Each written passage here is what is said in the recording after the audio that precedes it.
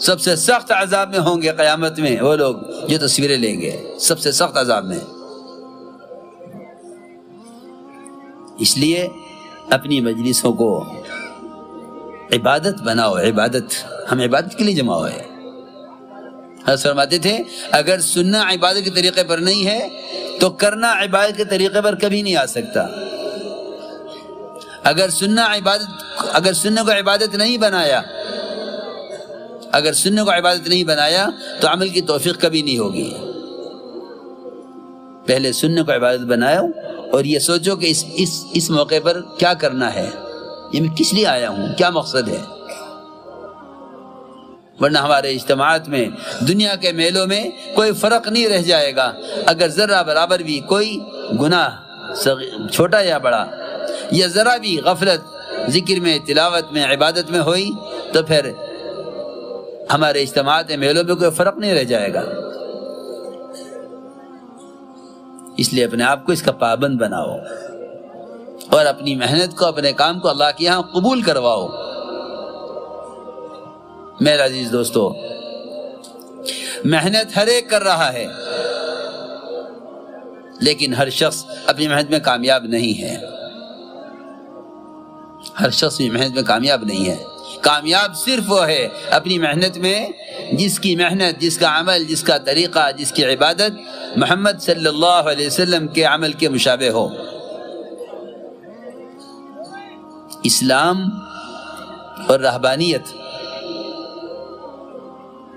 इस्लाम और रहबानियत, इसका फ़र्क यही है।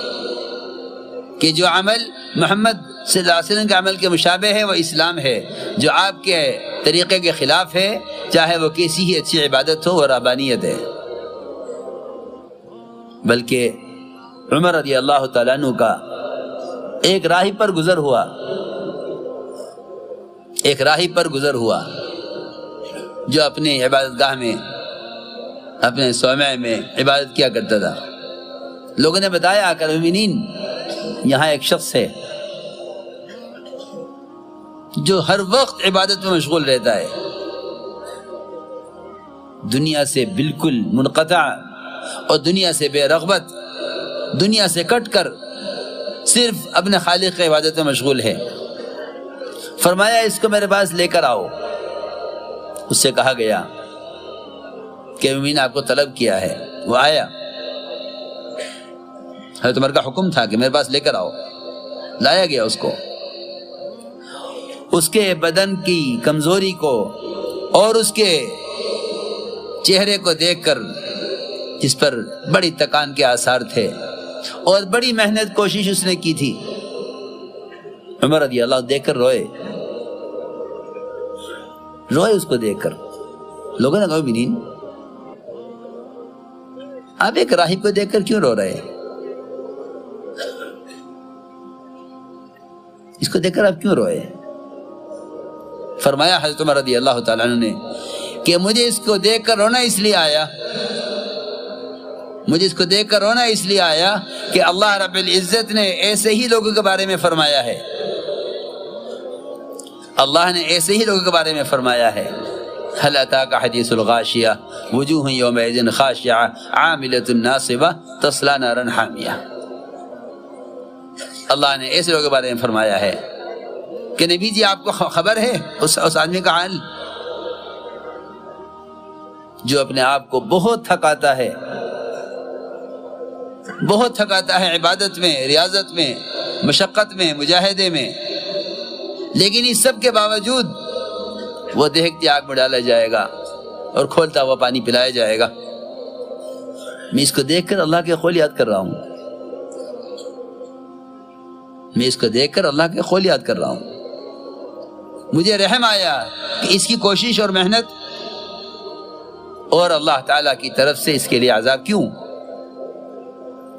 सिर्फ़ इसलिए कि मेहनत और मुजाहिदा तो खूब कर रहा है, लेकिन इसका तरीक़ा मेहनत मोहम्मद सल्लल्लाहु अलैहि वसल्लम के तरीक़ा इबादत से हटा हुआ है।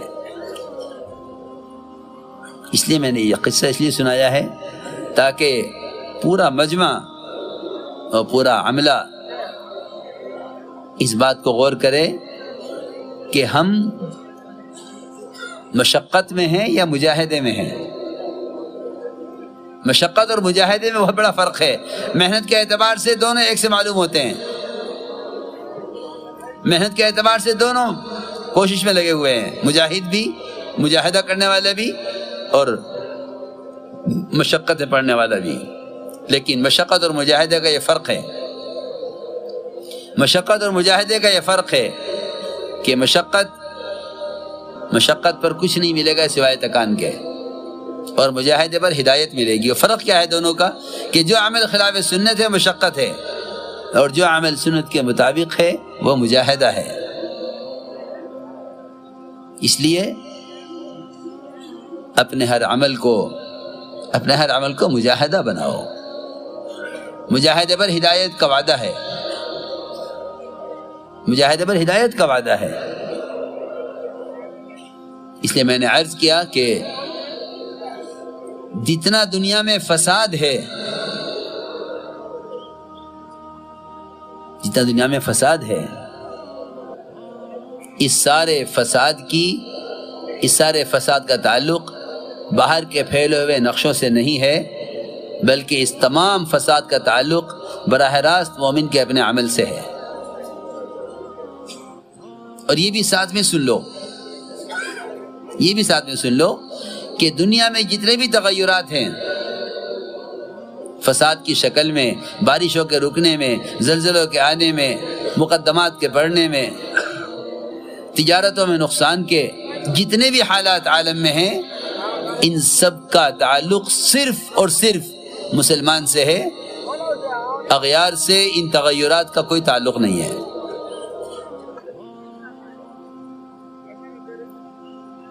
अगयार से इन इन तगैरत का कोई ताल्लुक नहीं है। ये मैं इसलिए अर्ज़ कर रहा हूँ कि जब भी मुसलमान किसी हाल से गुजरता है, या वह हालात इनके असबाब में हो या वह हालात ज़मीन आसमान के दरमियान इनके कायनाती नक्शों में हों जब हालात कायनात के नक्शों में पेश आते हैं तो ये इनको मौसम से जोड़ देते हैं और जब हालात इनकी कमाई के नक्शों में और इनके शख्सी और ज़ाती तजारती ज़राती और इनके सियासी निज़ामों में हालात पेश आते हैं तो ये इन हालात का इल्ज़ाम, ये इन हालात का इल्ज़ाम या शैतान को देते हैं या अगयार को देते हैं। हालाँकि इनके हालात के बिगड़ने का और इनके अमाल के बिगड़ने का न शैतान से कोई ताल्लुक है, न अगयार से कोई ताल्लुक है। मेरी बात बहुत तवज्जो चाहेगी। क्यों मत नुकसान की तरफ़ जा रही है? क्यों नुकसान की तरफ़ जा रही है? क्या वजह है? वजह सिर्फ़ इतनी सी है, वजह सिर्फ़ इतनी सी है कि इज्तमाही तौर पर मुसलमान अपने तमाम हालात को या इसबाब से जुड़े हुए हैं या अगयार से जुड़े हुए हैं। इन्होंने ये किया है, इन्होंने ये किया है, इन्होंने ये किया है। मुसलमान इसलिए परेशान है। मैं